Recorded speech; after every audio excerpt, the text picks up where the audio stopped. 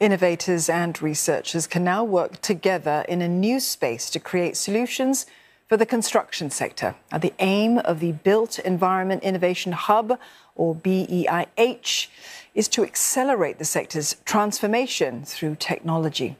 Also, five training programs by the Building and Construction Authority will equip mid career workers with skills such as sustainable design. Claudia Lim with more. The Innovation Hub, which sits within BCA's Braddell campus, is itself an innovative building. These sustainable wooden beams, for example, were specially engineered and allows for faster assembly. Here, innovators can work together and also pitch their ideas to construction firms. Companies like Square Dog is one of them it would be a very good uh, starting point for our R&D in Singapore.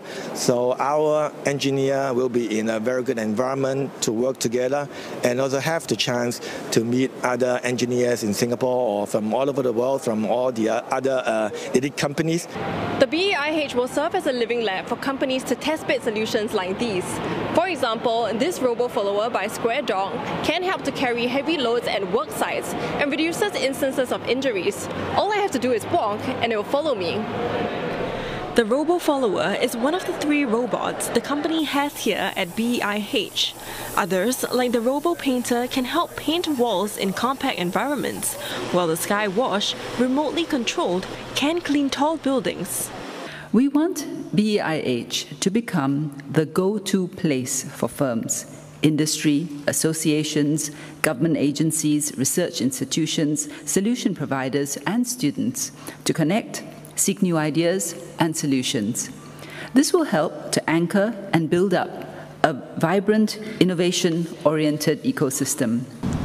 BCA says the push for innovation will help firms stay competitive. At the same time, its education arm, BCA Academy, will roll out five new Skills Future transition programs aimed at workers who want to make a mid career pivot into the built environment sector digitalization is one area, and of course, sustainable uh, urban systems is another area that is quite critical for our sector. Of course, uh, again, to address uh, climate change and the issues, but also because the built environment sector has a lot of opportunities to reduce um, carbon. The programs are expected to be rolled out in the next few weeks.